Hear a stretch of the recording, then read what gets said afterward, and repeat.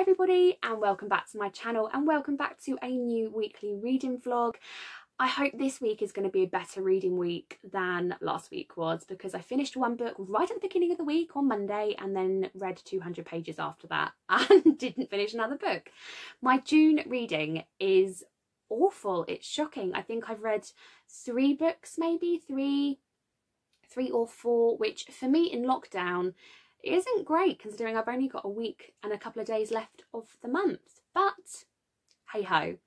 So uh, this week, obviously, um, if you watched uh, last week's vlog, you'll know that I am 200 pages into On the Come Up by Angie Thomas. I am listening to this on audio as well as reading it physically along because there are rap sections in this which are, are actually rapped and it, it's really cool on the audiobook so I thought I'd double up and again this is kind of like a fail safe for if there's any noise around me, it doesn't matter, I can plug in my headphones and read this and I can get some reading in.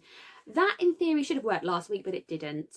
Um, 200 pages is just shy of halfway through, so yeah.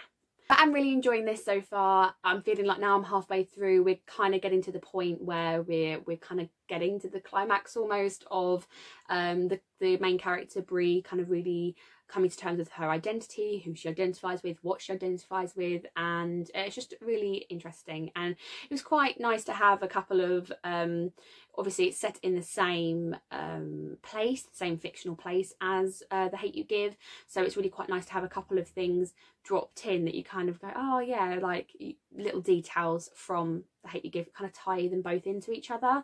Uh, but really been enjoying it so far, and like I say, looking forward to finishing it. I would like to finish it in like the next day or two if possible. So I do really want to make a start on The Four Swans by Winston Graham. This is the sixth Poldark book and then once I finish this I'm officially halfway through the series. So I do really want to make some progress through this um, and get this finished if I can this week as well. It's a bit of a chunker. How many pages is it? Let's find out. 581 yeah 581 pages so it's a nearly 600 page book. Um not quite sure how i'm going to tackle this like whether i'm going to download the audiobook and try and double up doing both if i'm just going to try it and read it physically. My other half is back at work this week it's his first day back today. He has already called me and said don't know if we're going to make it till five o'clock because they're all already like really struggling. Basically he's spending his first week he is in retail management he's spending his first week in store. Um without the shop open, literally just prepping the shop for customers. Um, there's lots that needs to be done. There's obviously needs to be a massive promotion change because it's been shut since like the end of March. There's going to be massive promotion change they need to do, lots of price changes that need to be done. The shop has to be kind of a little bit reconfigured in a sense of making sure there's plenty of space for people to queue, people to enter, to leave, um, and everything like that. So it's going to be quite a big undertaking to get it done. So they've got a whole week to do that and sort that things like rotas, how many people are they allowed physically to have working. They've got to ensure that their deliveries are being done outside of working hours. So yeah, it's all a little bit, um, it's going to be quite a hard week for him. And this, he's just got three people in, him and two others. So um, he said to me, he called me just after his lunch and he was like, we're already like really struggling and we're not sure we're going to make it till, till the five o'clock. Like they'd kind of planned to do nine till five whilst they're prepping the shop. But so I don't really know if I need to have the audio for this because obviously during the day I'm going to be on my own as a sense of, you know, I'm not going to have anyone in the background doing anything else that could potentially distract me. So not quite sure how I'm going to tackle this, but want to tackle it. I think I might do this, mark this with my magnetic bookmarks, quarter, half, three quarters, and then maybe have um, a, a fourth marker, which is kind of like my end goal for the day, like where I want to be by the end of the day or keep me going 50 pages at a time, something like that. I'm not quite sure. Um, but this does, I would really like to get this read this week because I've only got a couple of days next week before the end of the month and then if I finish this before the end of the week I can make progress through a couple of other books um, or finish another book get another book done uh, but getting it done and getting this started now is uh, you know much better position to be in so like i say i want to try and finish this in the next couple of days so that i can tackle this from sort of like midweek onwards and really tackle it and get it done and get it read I make it sound like it's a hardship to read them, but they aren't the easiest books to read and they can be a little bit time consuming. So kind of trying to do this now rather than waiting and waiting till later on in the week will be potentially a little bit of an issue to ensure I definitely get it finished in time. And I don't want to, on the sixth month, halfway through, I don't want to fall behind and not finish it.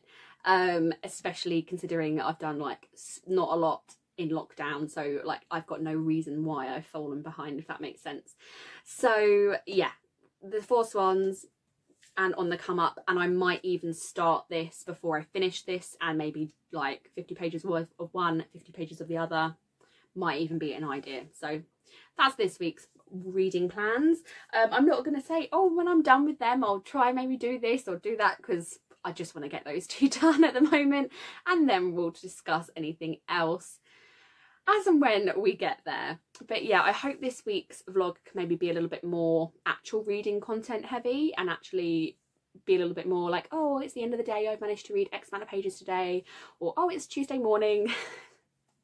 because, you know, that would be really good that I'm actually, you know, vlogging about my reading in a weekly reading vlog would be quite handy. Um, I don't have any solid plans for this week, like I said, other than just my other half is at work. Um, so I haven't got anything planned. I've still not heard anything from my workplace, so I still don't know where I stand with regards to returning to work.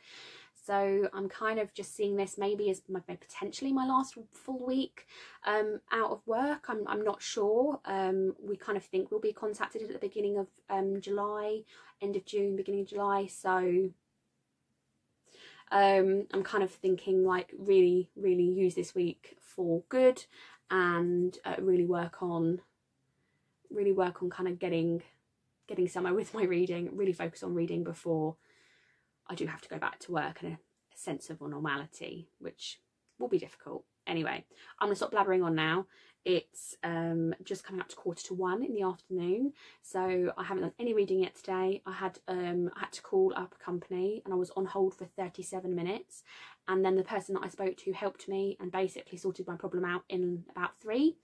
Uh, which is always really super frustrating. I never really know how long is too long to be on hold and when to get annoyed that you've been on hold for so long and when not and time feels like it drags on for so much longer when you're on hold on the telephone. But then to be on the phone for three minutes and my problem solved when I've been on hold for 37. Anyway, positive vibes only. um, so I'm going to crack on with some reading. I'm going to have a bit of lunch, I think. And um, also need to um, edit and upload last week's vlog as well at some point today if I can. So hopefully I've got lots to keep me going, lots to keep me occupied and like I said really focusing this week on getting some decent reading done, get my reading mojo back because this might be the last full week, we don't know and I'd hate to spend this week just being complete and utter bum and not doing much of anything because that would then be a bit of a bit of a negative end to lockdown. So let's be positive let's have a good week and let's get lots of pages read. So I've got my bookshelves here behind me and I, I kind of feel like I need to uh, rearrange them all but my bookshelves kind of my books rather kind of start moving on to this shelving unit I've got next to a bookshelf.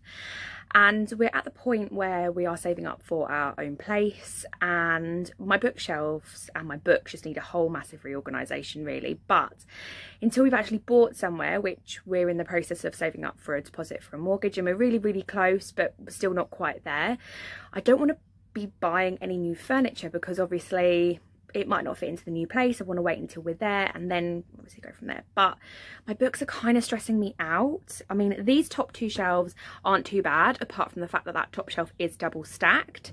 Obviously, there's a little bee um, cuddly toy on there. But then once you get down here, uh, I mean, I've got an epilator there. Why have I got my epilator?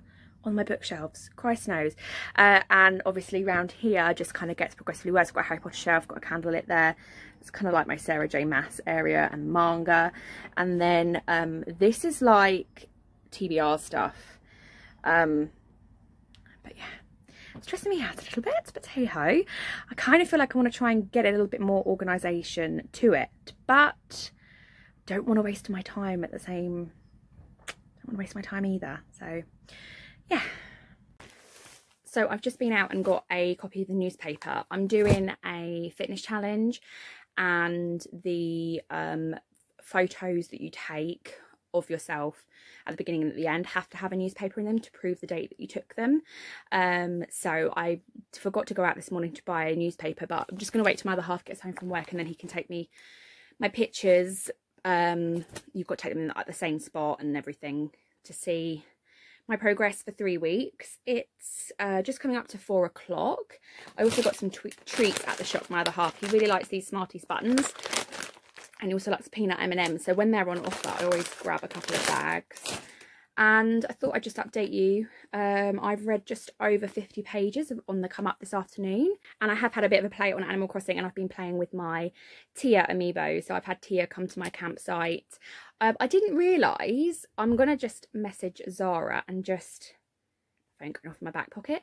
I'm going to message Zara, who uh, was the uh, person that introduced me to her site where you can get them from.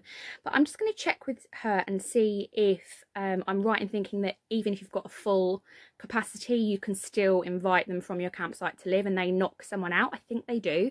So I'm just going to message her now because I've seen something in a couple of places and I've gone, actually, I think I can still invite them and still invite them to come and live on my island even though I've got a full capacity island. So fingers crossed. Um, so yeah, I've had a little play with that, just seeing how they work and bringing um, a new character to the island that I haven't brought to the island before with the amiibos. Um, and yeah, I'm going to sit down now and read a bit more of On the Come Up until my other half gets home. I'm not sure what time to expect him, to be fair. They've had some technical difficulties from the sound of things. Um, they had no internet, so there's only so much they can do in store when they've not got the internet to do all of the administrative stuff that he thought he was going to do today. He's not been able to do, so they've been doing quite a lot of physical work, moving big, heavy things to start making space around the store. So yeah, he's said he was already really knickknacked at like midday. So fingers crossed he's okay. So I'm not sure whether he's going to stay till five o'clock as expected or whether he's due to come home before. Um, if the internet's still out, there's going to be only so much he can do. So yeah, I'm going to plan on sitting and reading some more of this. Um, like I said, I've already read 50 pages, so trying to get maybe 100, 150 pages total read today would be amazing. So it is Tuesday now and I thought I would just um, talk to you about a couple of things.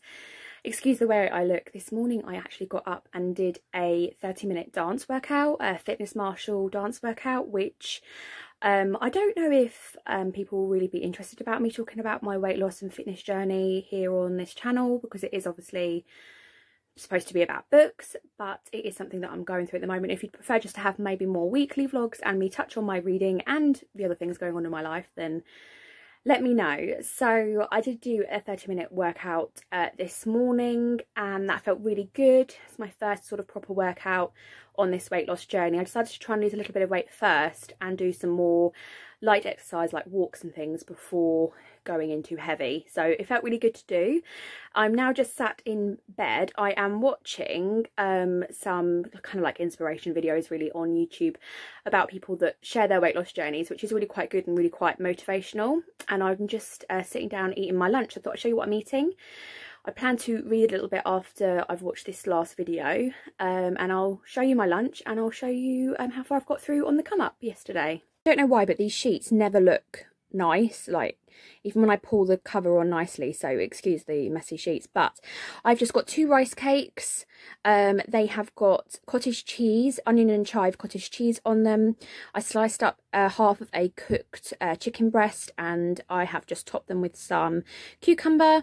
I've got some tomato and I've got some cucumber as well. I find it really nice to avoid like crisps and things like that to have something that is still a bit crunchy and for a bit of saltiness um, that's got a bit of halloumi there. I really like halloumi and it's something um, something that you can have and not feel too guilty about. Is a lighter um, halloumi as well. So yeah this is my lunch. I'm gonna eat that now.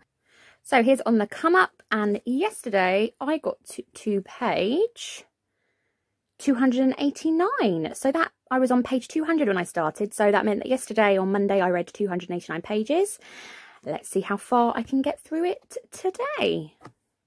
So it's now Wednesday. Excuse the setup and everything. This is the best you're going to get today. I did this morning, um, I don't know if I talked about it yesterday, but I think I might have done. Um, I did half an hour dance workout again, uh, feeling really good. Um, and then what I decided to do was I decided to do the first HIIT workout in the Body Boss challenge. Um, I bought the Body Boss workout um, ages ago, probably over a year ago, and I think I maybe did one or two workouts from it and didn't continue with it just because I kind of had this idea that I didn't have enough space or the right sort of area to do it in in the house. Um, anyway, so I thought I'd do the dance workout as kind of like my warm up, then do the stretches, the um the HIIT workout and then do the cool down stretches as well. So that was about an hour's worth just over an hour i think of uh, workout which was really good. Um it is now coming up to half past 12 um i'm just having some lunch a very similar lunch to yesterday but i've run out of cucumber. So rather than having cucumber on top of my rice cakes and cottage cheese i've got uh tomato. I think i might have to pop to the shops and just get a couple of bits because we're a little bit low on a few things that i can really snack on and eat uh, throughout the day throughout the day and not feel guilty about. I've also got some posts i've got to go through uh, like a pen pal letter and just some bumpy posts that i've got. Um, and i finished on the come up yesterday so I just kind of kept reading and reading and reading. And then in the evening when we'd had our dinner, I was like, look, I've only got about 40 pages left. I just would like to get it finished. My other half said, yeah, yeah, not a problem. He amused himself. I think he played a bit of computer game. And I finished on the come up and I really enjoyed it. But the ending was such a like cliffhanger. I hope they're going to do it like another book. I did see that Angie Thomas has got another book on the horizon but I didn't do enough research into it. So I'm going to have a little look into that and see if it links with this one at all. Because I was like, oh my God. Um, so yeah, really, really enjoyed it. Really, really good story for sort of like coming of age identity who you are who you portray yourself to be really really interesting themes in this one um and uh yeah really really enjoyed it so i'm going to move on to the four swans next but i haven't picked it up yet uh which is the sixth poldark book and um, I'm going to sit down now, eat my lunch, and going to maybe watch a little bit YouTube, but maybe make a start on my next book. So I have just come to put all the clips together for uh, this week's for weekly reading vlog, start editing it all together and realised that we got to Wednesday and I kind of petered off and I did no other vlog updates. So apologies for that. So this is a little bit of a delayed end, but just wanted to say uh, that I did actually manage to pick up the Four Swans. Um, like I discussed in my last clip, I'd finished on the come up and I wanted to start the Four Swans. I didn't make as much progress as I wanted to through it, but I did get to, I made this much progress through it, um, which was page page 172. Um, and obviously, this will need to be the focus for the beginning of next week to get this in before the end of the month. So Monday, Tuesday next week is going to be intense uh 410ish pages I've got to read of this um to get this read but um yeah, a little bit frustrated I didn't make much progress. Kind of my attention span petered off towards the end of the week. And uh, yeah, I don't really know. I think I'm just a bit slumpy with my reading and um, I think I need to stick to a few things that are just going to kind of keep me intrigued and kind of keep me going and keep the pace up a little bit. So, um, but the good thing is I started it and I did make progress through it, nearly 200 pages progress. So, you know, we're doing all right. We're doing all right. Uh, so yeah thank you so much for watching this week's weekly reading vlog. I did a few different sort of uh, clips this week. I kind of showed you some of my lunches talked a little bit more about my weight loss and fitness journey. Um, and please let me know if that's um, content that you're interested in or if you want me to just to stick mostly to sort of like the reading stuff then please just let me know. I'm the sort of person that um, when there's something going on in my life that I'm really focusing on, it becomes quite a big focus for me. Um, and so, for instance, reading has maybe taken a bit of a backseat because I've been focusing on my workouts and my eating. Um, but I would like to still document it to some uh, degree in these vlogs because this is not just a reading vlog, it's kind of like a life vlog, in my opinion. So, yeah, I'd love some feedback on that. Are you happy for me to include those sorts of clips?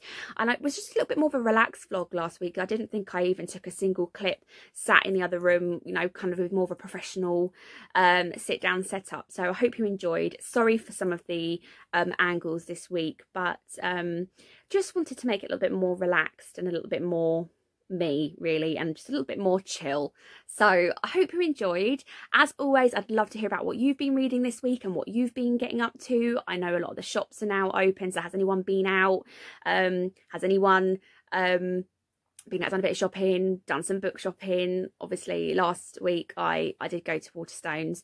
So um have any of you guys been as well? I'd love to hear all about it. Um but thank you for watching and i'll see you all in the next one. Bye